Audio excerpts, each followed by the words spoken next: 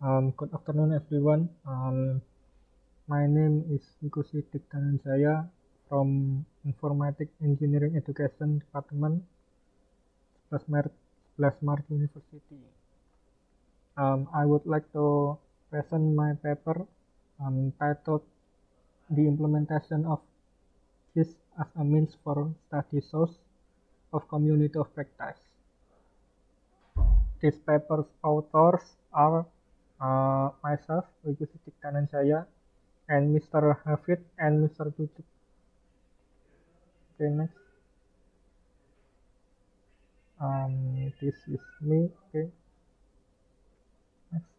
In this presentation contains with first introduction, number two research method, then research question, four research and discussion, and five conclusion and future research.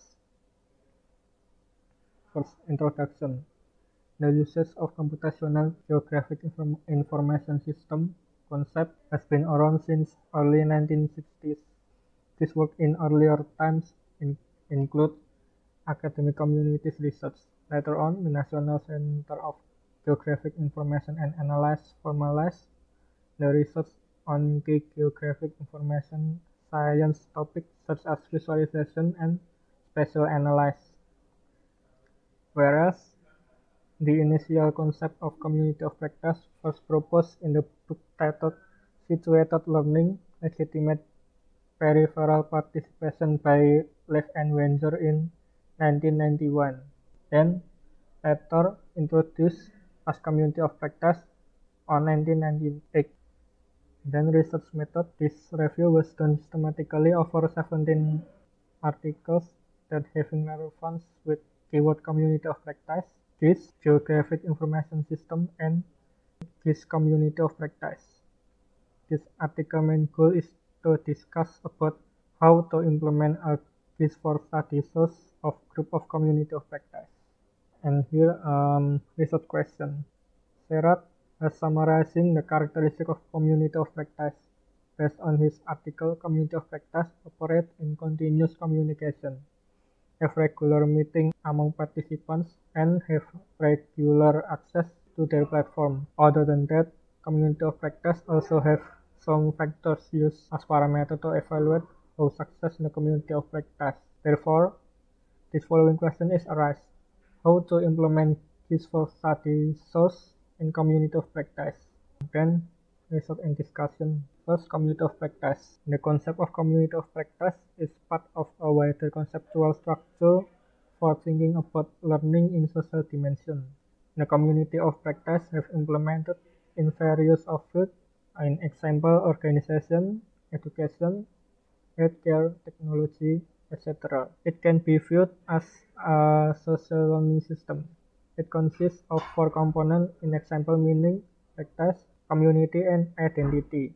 Community of practice concept firstly introduced as situated learning, which then developed into community of practice. The community of practice has three characteristics. In example, domain as a place to undertake the activity, community that act as actor, and practice as the activity performed. And also, there are seven principles for cultivating a community of practice. Number one, design for evolution. Then facilitate open dialogue between inside and outside perspective. Provide public and private community space having multiple level of participation such as thread starter, moderator, commentator, viewer, etc. Then community of practice need to focus on value. Then um, community of practice must contain similar excitement, able to create a rhythm amongst community. From active following aspect found in community of practice. The community of practice offer a perspective about sharing knowledge in different ways from the traditional. It focus on agility of social space and the variety of every participant's experience. Success factor of community of practice. Number one, strategic relevance, and then domain, and then activities, membership, then governance, facilitation, and then culture, then incentive, and then reward and recognition, um, then information technology, then uh, time, longevity, measurement, and then B, Geographic Information System or GIS. Marczewski breakdown GIS design as following accuracy, accessibility, and then accountability. See community of practice in GIS. GIS education should be originated in traditional result and transfer knowledge associated with formal education. However, formal learning only provides steps to learn about GIS, and further education would require relation to formal learning in some form. Formal learning have a role in the education process. However, the role of informal learning led by community of practice. Tate and Harvis arrange a class where these professionals meet and teach GIS students about the real-world situation of GIS environment. The class supply the knowledge of skill by applying workplace situation to GIS students. The class curriculum is adapted to real work requirement. The community in this class is also have multiple participation level such as trainer, expert, and student.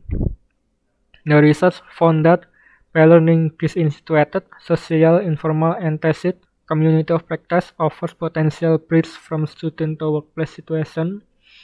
The anticipated skill would be obtained directly in use. The other example is Corcoran 2015 Community of Practice in University of South Australia that provide context and environment to explore BIM GIS more further. The implementing GIS as study source using community of practice. The implementation of GIS using community of practice SIM is basically building a community of practice based on its specified rules while using GIS as a main discussion topic. So therefore, the community of practice at least having characteristic with community of practice used as primary place for group interaction related to main topic. Furthermore, community of practice need to be formed as community with common interest in knowledge. Other than that, related to its name, community of practice have to focus to practice things related to topic. And then, community of practice at least have this principle. Community of practice must design to must design to adapt from change in membership and discussion focus in order to maintain community so that still relevant to main topic and development of knowledge. Community of practice have to mediate open communication between member and non-members perspective to enrich community's reference about topic.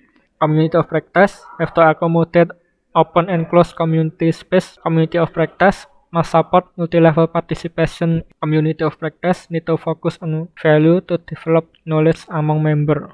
Community of practice have to consolidate between familiarity and interest. And last, community of practice must be able to control the rhythm of the community in order to optimize topic discussion. And lastly, conclusion and future research. And lastly, conclusion and future research. Community of practice concept applied in ordinary daily life and is able to develop and improve the understanding on specific subject. Community of practice often done when there is group with common interest and sometimes common background of knowledge. Eventok, Operator, Eckert, and Serat explain about what community of practice is like. Still, further research about how to arrange and restrict a community of practice forum in order to keep the forum conducive is needed either from social aspect, limit participants' privilege corresponding to its own role, or etiquette. So this my presentation. Thank you for your attention. Thank you.